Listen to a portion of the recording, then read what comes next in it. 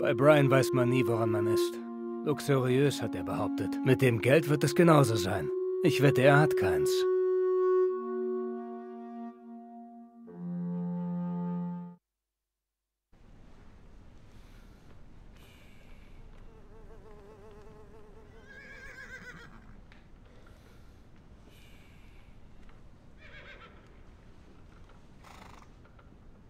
War gar nicht so schlimm.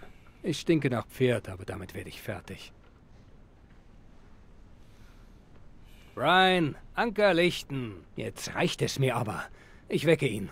Und wenn ich dafür eine Kanone abfeuern muss. Falls ich eine hätte.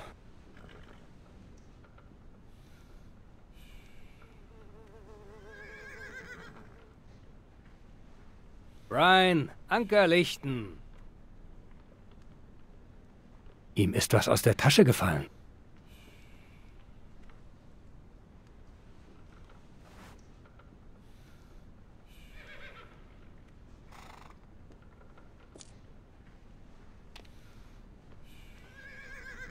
Bei mir ist sie sicher.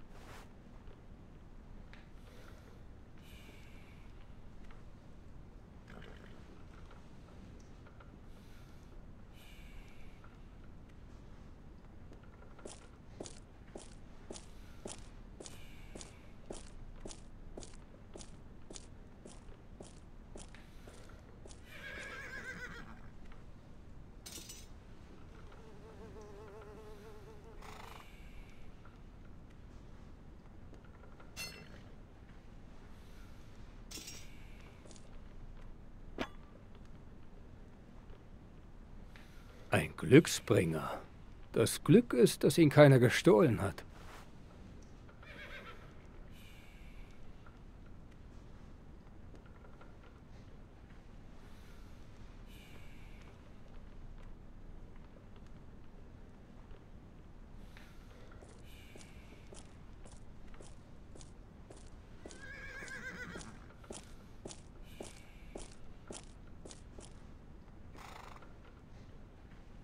Mann, ich hoffe, das fällt mir nicht auf den Kopf.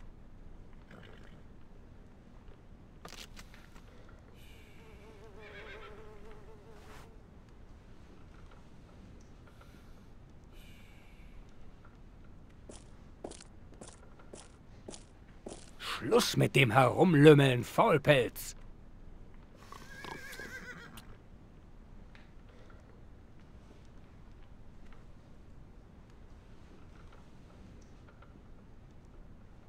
Bist wach? Mhm. Hast du mich mit irgendwas in den Hintern gestochen? Nein, das hast du wohl geträumt. Danke für die Unterkunft. Toll, oder? Manche mögen den Pferdegeruch nicht, aber mir gefällt es hier. Sag mal, was hast du vor? Außer schlafen, meine ich. Wohin willst du denn so eilig, hä? Du weißt genau wohin. Kommst du mit oder nicht? Mann, du bist ja völlig besessen von diesem Amerika-Plan. Klar komme ich mit, aber ohne Geld wird das nichts. Das weiß ich. Brauchst dich gar nicht so aufzuspielen. Hast du welches? Keine Sorge, ich habe einen Job aufgetan. Wir werden Geld haben. Einen Job, sagst du? Warte nur ab. Was für eine Arbeit? Ich will alles darüber wissen. Du hörst nicht auf zu nerven, oder? Also hör zu. Ich kümmere mich um Pferde für einen Kerl, der an den Tresor seines Vaters will. Er traut sich nicht selbst, du weißt ja, diese schnöseligen Erben. Wir haben abgemacht, dass ich ihm die Papiere bringe und er dafür bezahlt. Ich würde es ja selbst tun, aber ich dachte, es wäre besser, jemand Verlässlichen dabei zu haben. Deshalb bist du hier. Das klingt gut. Vielleicht zu gut. Was weißt du über diesen Typen? Wage es nicht, mich davon abzuhalten, Tim. Stell dir doch mal vor, was in dem Tresor sein könnte. Der Mann will nur Papiere und Dokumente. Verstehst du? Den Rest behalten wir. So viel ist sicher. Und alles, was wir sonst noch da finden. Das kann ich mir nicht entgehen lassen. Wenn du kein Interesse hast, frage ich jemand anderen. Aber dann kannst du Amerika vergessen. Nein, Brian, schon gut. Wir machen das zusammen. So wie früher. Jetzt klingst du wie der gute alte Tim. Ich wusste, du würdest mitkommen. Glaub nicht, dass ich dir nicht traue. Aber wie willst du das machen? Einen Tresor ausrauben ist nicht leicht. Ah, du hast recht, Mann. Wir sollten uns lieber vorher alles genau überlegen. Der Plan geht so. Wir gehen einfach hin, sind leise und schmuggeln uns irgendwie rein. Dann finden wir den Tresor, nehmen alle Sachen raus und verschwinden. Ganz einfach. Verstehe. Und das nennst du einen Plan? Was hast du denn jetzt schon wieder zu meckern? Meine Güte, Brian, wach auf. Das ist was anderes, als Äpfel auf dem Markt zu klauen. Wenn wir erwischt werden, landen wir im Knast. Es sind schon härtere Jungs als wir da gelandet. Na schön. Also, was willst du? Einen Plan, du Dummkopf. Was glaubst du, wovon ich rede? Meinst du wirklich, ich mache alles selbst? Moment mal. Ich habe den Job beschafft. Du kümmerst dich um den Rest. Das ist doch nur fair, oder? Aber ich gehe trotzdem mit dir, nur falls du es verpatzen solltest. Und weil du mein Freund bist, machen wir halbe halbe. Hätte ich mir ja denken können, dass es so endet. Gib mir die Adresse, ich sehe mich mal um. Siehst du, gar nicht so schwer. Einfach geradeaus, dann die Straße hoch und schon bist du da. Es ist im schicken Viertel in der Paradise Street. Das erste Haus rechts. Viel Glück.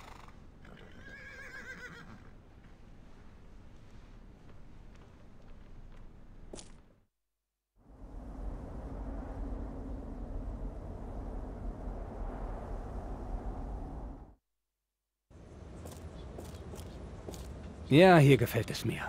Ich versuche herauszufinden, wie ich an die Schlüssel komme.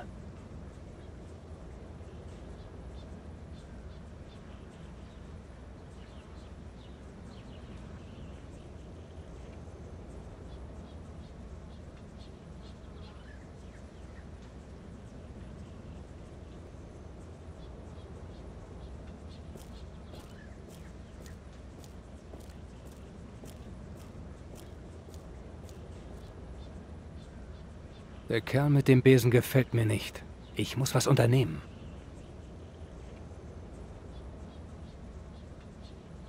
Das schaffe ich auch ohne Leiter.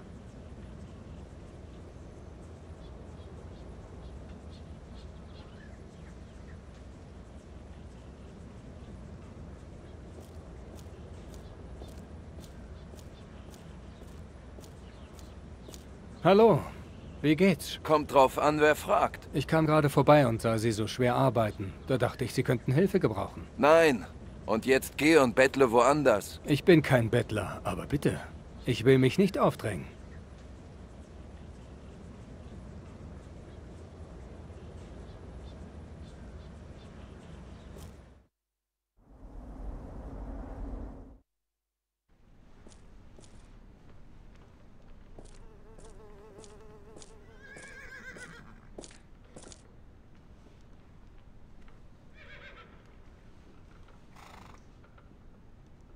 Wach auf, ich brauche deine Hilfe. Ein kleines Bitte wäre ganz hilfreich. Hör auf damit, Brian. Ich habe mir das Haus angesehen. Kanntest du da jemanden? Ich habe einen Diener getroffen, aber der war ziemlich steif, als wenn man gegen eine Wand redet. Ja, ich weiß, wen du meinst, und den kannst du sofort vergessen. Du hast nicht genug Geld, um den zu bestechen. Toll. Und wie kommen wir dann rein, du Klugscheißer? Hm, versuch es bei einem Dienstmädchen oder so. Du weißt doch, wie man mit Frauen umgeht. Hey, gar keine schlechte Idee. Also komm mit. Du lenkst den Diener ab und ich klettere über die Mauer. Mann, wenn da was schief geht. Keine Sorge, wird schon nichts passieren. Schlimmstenfalls tun wir einfach so, als wollten wir Äpfel klauen. Nun steh schon auf. Na gut, na gut. Geh schon vor. Ich komme gleich nach.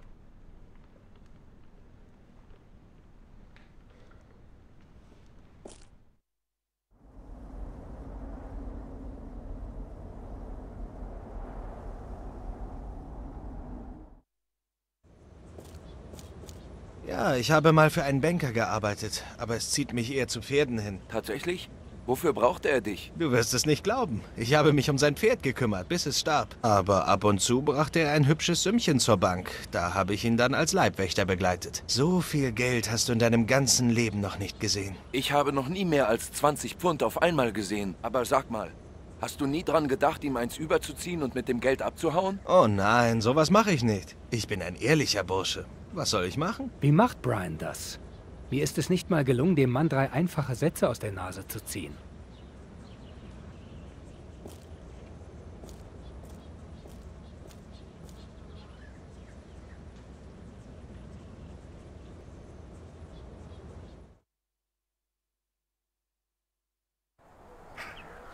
Im Moment sind so viele Leute im Haus. Ich kann da nicht hin. Wenn ich nicht zu den Schlüsseln komme, müssen die Schlüssel zu mir kommen.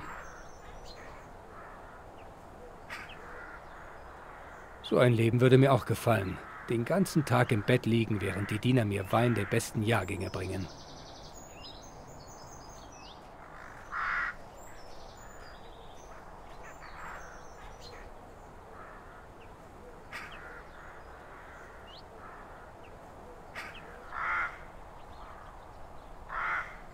Heute Abend gehe ich dort was klauen. Jetzt brauche ich den Hausschlüssel. Da kümmere ich mich heute Abend drum.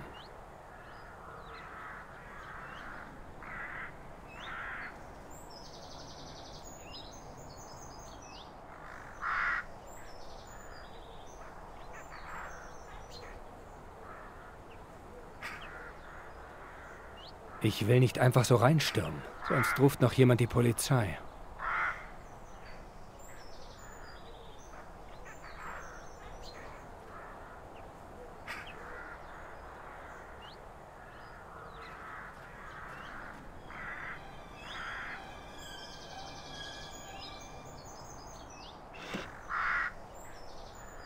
Luft ist rein, keine Menschenseele hier.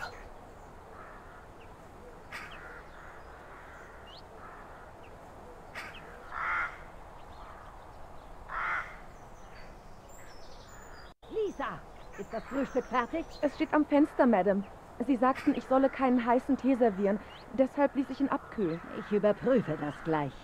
Wenn etwas nicht meinen Wünschen entspricht, gibt es Ärger. Am besten locke ich jemanden heraus.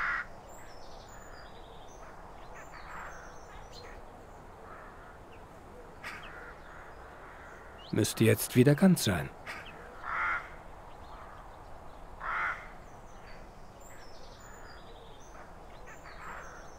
Da kommt jemand.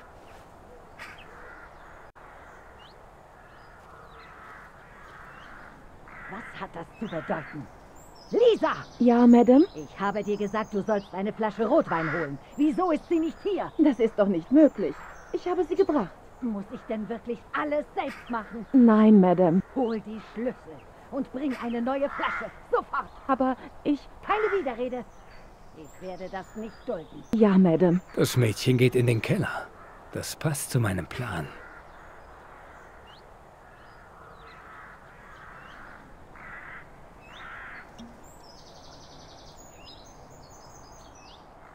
Ich kann mir nicht helfen. Ich liebe das Geräusch einfach.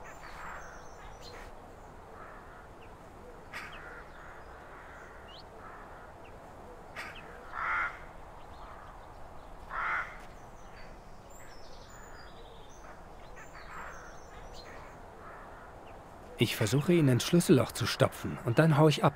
Vielleicht sperrt sich jemand ein.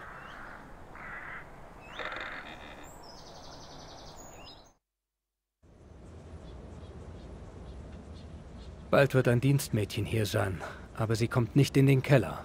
Hauptsache, sie hat die Schlüssel dabei.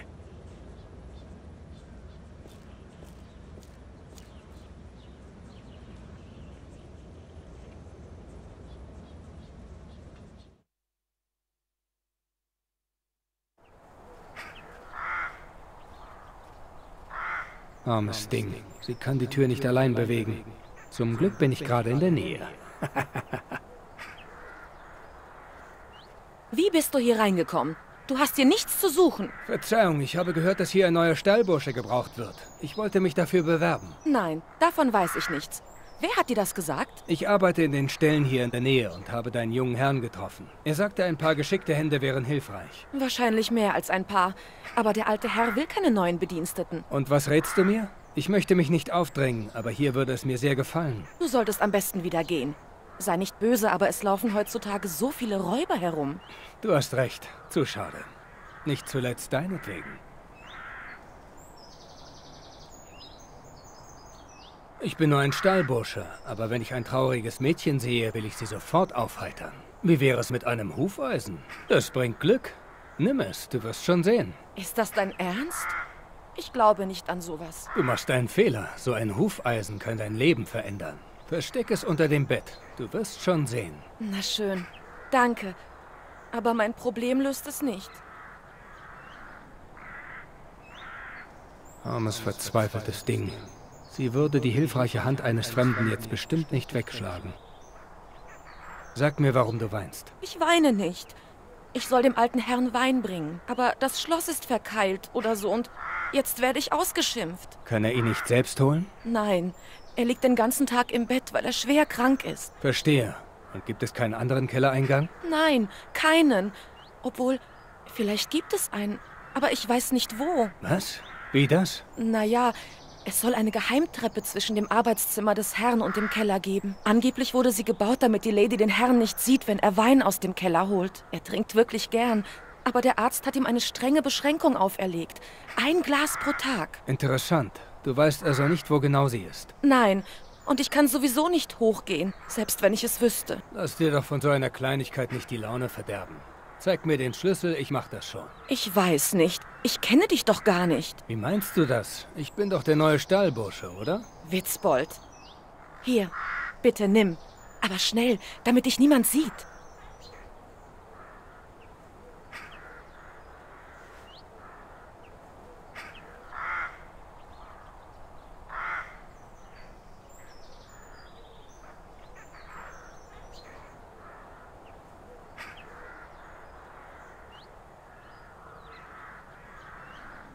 Das Wachs ist zu hart.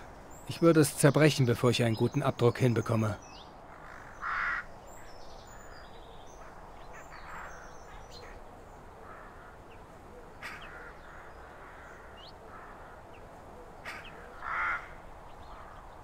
Tut mir leid, Miss. Ich muss Werkzeug holen, sonst kann ich das nicht öffnen. Naja, du hast mich nicht überzeugt. Und ich will den Schlüssel zurück. Klar. Und keine Sorge, ich bin gleich wieder da. Mist, ich musste ihr die Schlüssel wiedergeben. Sie ist nicht so dumm, wie ich dachte.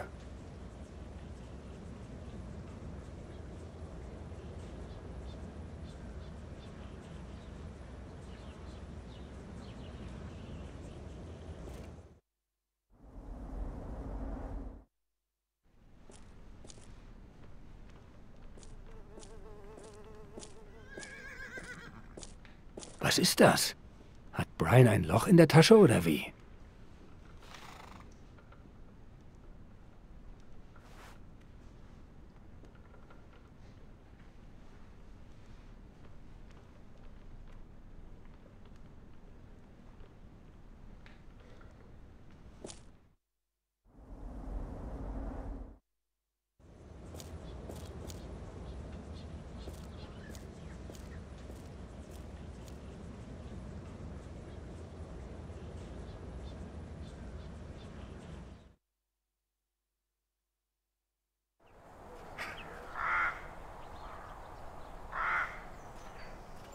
Bin wieder da. Hast du es nochmal versucht? Ja, aber es rührt sich nicht. Egal, gib mir den Schlüssel, ich versuche es mal. Wenn es gar nicht anders geht, hilft oft nur rohe Gewalt. Das wäre wirklich nett von dir. Mir hilft sonst nie jemand.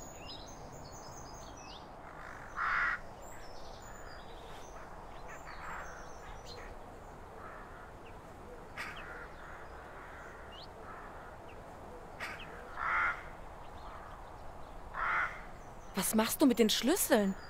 Ich wollte nur die Tür öffnen. Jetzt erhitze ich sie ein bisschen. Das hilft, den Schmutz zu entfernen, verstehst du? Nein, verstehe ich nicht. Mach bloß nichts kaputt. Keine Sorge, das habe ich schon mal gemacht. Ach was, von sowas habe ich noch nie gehört. Und für mich ist das was ganz Alltägliches. In einer Minute ist die Tür offen.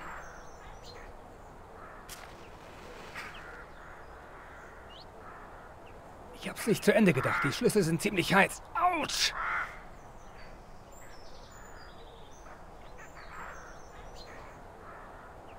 Was machst du mit den Schlüsseln? Ich wollte nur die Tür öffnen.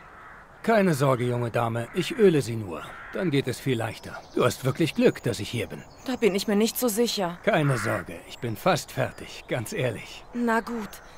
Aber bitte beeil dich, sonst bekomme ich Probleme.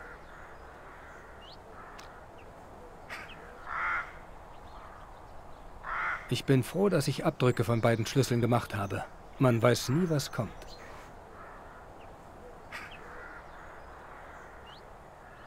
Das kann ich nicht, selbst wenn ich wollte. Ich...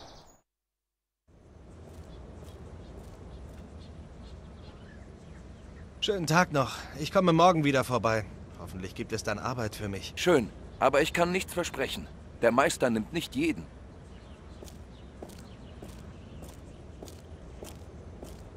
Kein schlechter Anfang. Ich frage mich, wie lange das Glück wohl anhält. Ryan wird so beeindruckt sein, wenn ich ihm das zeige. Heute Abend wird es leicht.